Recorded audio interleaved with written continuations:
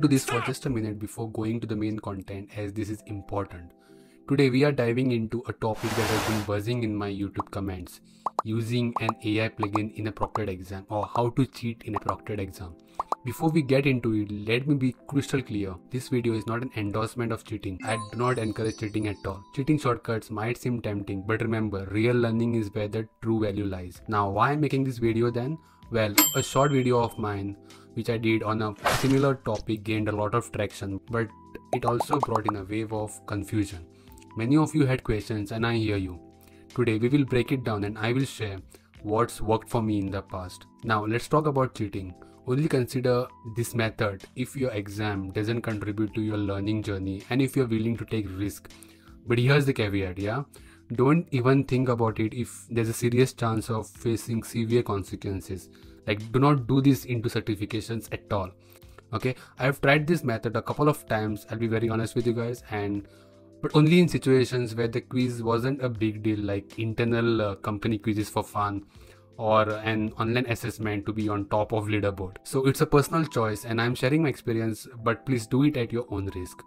Before we dive into the main content a quick heads up.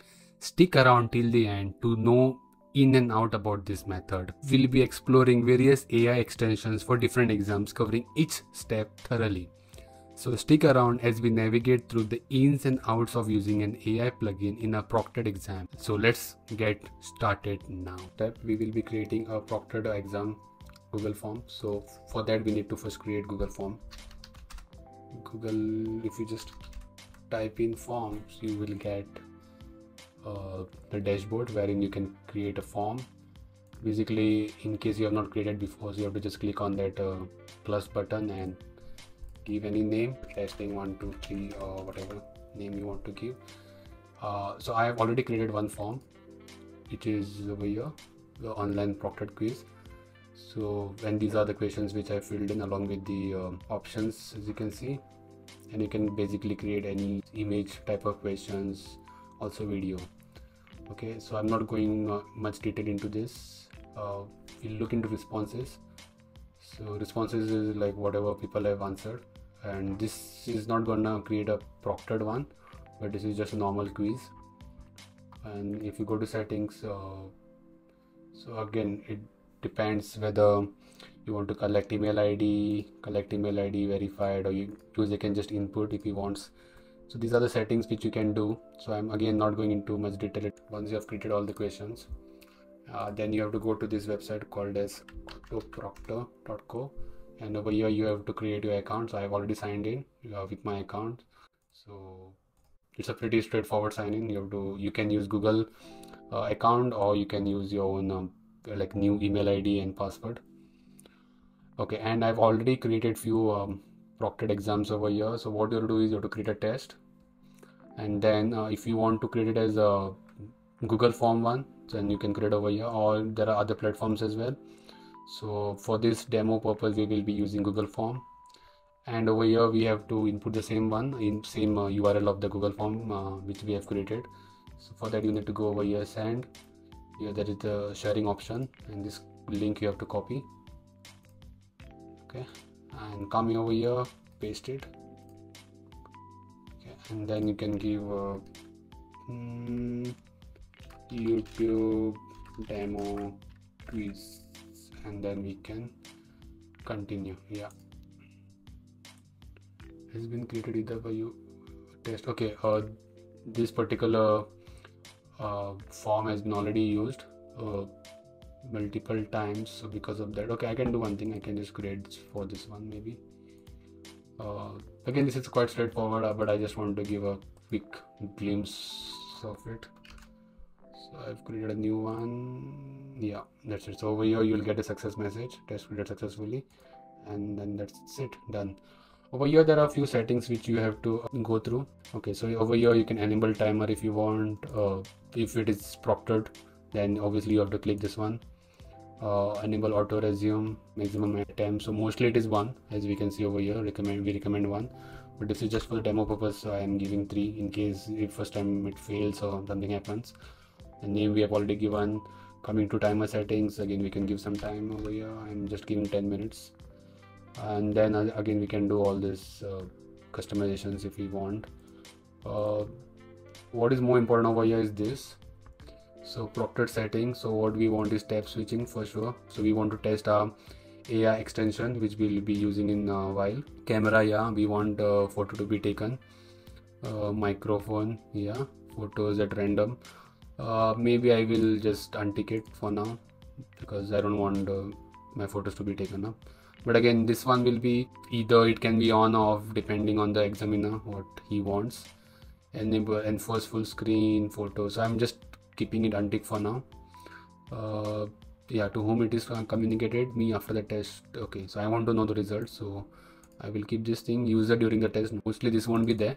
User won't uh, know whether what will be the result whether he will be shown that he has copied or not. So mostly this won't happen so i'm just taking it off. These are there are some advanced settings over here not recommended for new users. I'm just keeping it collapsed view okay so that's it i think a few settings we have done over here. Yep that's it. I'm clicking on save and save successfully. So this will be a link now. So whenever we want to take up the test this will be the link which we will be using or your teachers or your lecturers will be sending it across via mail. So let's move on to the next step. In this step what we will do is we have to take up the exam right? So for that first we need to install the chat gpt extension which will actually help us to take the exam so for that i will search chat gpt chrome extension so i've already searched it and i've already installed it. But make sure you install this one. So there are many available uh, in the chrome store. So you have to specifically use this one. So link i will put in the description area. Uh, so I've already installed as I've said and you can see it over here. So if I click on the extension a pop-up window will be uh, coming over here. And obviously I have logged in into my OpenAI account so which you have to do it once and after that every time you click on this uh, icon over here you will be able to see this uh, dialog or prompt box. So now next step we will be taking up the exam and we'll see what happens. Here okay. Yeah. This is the link. And I have to open incognito mode. So again I have to sign in into my account. So I've already done it. So I've skipped that step. But uh, whenever you're taking up the test you have to sign in uh, with the help of a google account. After that you should be able to see this screen if you want you can go through this tutorial or you can just uh, skip it. Multiple cameras detected yes. Next uh, multiple monitors are connected currently so i will be selecting the main one. Uh, continue with multiple monitors for now. And then there will be series of checks which will be done. And after that once it is successful you should be able to see this uh, google form which we have created. And over here you should be able to see the timer. And we have already installed and enabled this uh, uh, chat gpt extension for incognito window. So now let's take up the um, exam one. First is uh, what is the purpose of sds software? Okay so i do not have any idea what is this. So i will just come to chat gpt paste it over here. And again if you want you can paste uh, these options as well. Uh, one problem with this window is like every time you click on this icon or whenever you open this extension every time a new window will be opened up. So make sure that you do not open it again and again for the same question. So I will say use from below options. This software is super so it says that large amounts of storage. Yeah which is this one. Cool. Which company coined the term podcast? Uh, I will do over here again. Copy paste. Links from below. Sometime it works sometimes it doesn't work so we will we'll just copy this. Let's see what is the answer. Again I know the answers because I've said this question so sorry. Yeah apple it is. Okay, what is the largest bone in the human body? Mm -hmm. interesting. Okay i think i skipped the first one. I okay what type of website is designed for creating discussion threads? It's web form because I, I mean i know this so i'm not going to actually go and again um, search for the answer. Okay what is the largest bone in the human body? Okay this might be the difficult one uh, because i'm getting many answers so i don't want to reveal what answers are coming to my mind. Anyway i will put over here. And i think this is pretty straightforward. Uh, yeah femur it is not the it is. Oh, okay. Interesting. Now one more thing right? Um, so what happens that sometimes you won't be able to copy uh, this text over here right? So it might be disabled i mean right?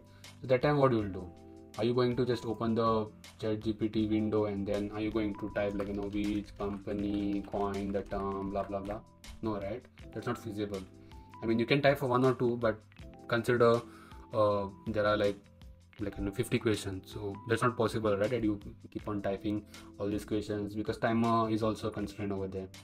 So in that case i am having this extension called as copyfish so basically if you just uh, google it copyfish uh, chrome extension. You should be able to see copy this uh, link over here. And basically this is the extension which you have to install.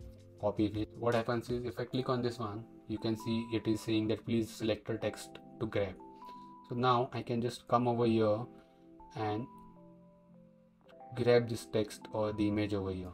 And what it will do once i leave the mouse it will copy this uh, entire uh, text whatever is there. So now now this works like google lens but this is much faster version of that. And one best thing about this extension is that it is having unlimited usage. There are a few extensions which are quite famous but it is having like 15 limits. So per day you can uh, you know screen grab like 15 uh, images. This one is having uh, unlimited. So once you do this copy to clipboard and then you can come over here and basically you can just paste it. And then you should get your answer. Oh sorry state. Uh, it's Vatican City come over here copy. I think I'm done. I'm done with all the answers. It looks good and I'm pretty confident because this these answers are not given by me but by ChatGPT so it should be right. Okay all right submitting it. Uh, view score okay hmm there you go. I've scored 5 out of 5 yo easy right? Oh, let's do one thing. Let's go and check in the results whether whenever we have opened this extension whether it has been captured by the tool or not. So i will be going to the dashboard. Uh, results. So yeah. And there are some several uh, times I've taken it. I will be I will be opening the latest one. Uh, over here as you can see right it is saying the tab has been switched twice. Interesting. That means it has recorded something which we will see in a while. And evidence type switched to a different application for two seconds. Still okay not a problem. Then there is some noise detected. I think this is the one which I where I was talking something. Yeah I think this is the one which I was talking. And then I switch to a different applications for 5 seconds which is this one. For this one so it has recorded this multiple monitors were connected true. Uh, coming to the more customized view you can see if there's anything. Okay no I think in terms of tab switching it has not actually captured this extension which is a good news. Uh, but uh, just one word of caution guys that uh, these updates keep coming because last time when i visited this tool many things were not there. So this was kind of basic tool. But now when i see there are many things being introduced like noise detected which was not there uh, three four weeks back when i had checked for this tool your examiner is using some basic version so in that uh, things like tab switching is uh, basic uh, switching camera and all other things like noise and all won't be there but if they're using advanced version like say for example this tool I see is kind of advanced version. So if they're using this, then that might be a problem for you. Uh, this extension uh, will be used by you only for uh, non-critical exams like some fun quizzes and quizzes which is not serious or there won't be any escalations as such okay? Because you never know what uh, options have been selected by your examiner and i don't want you to get caught.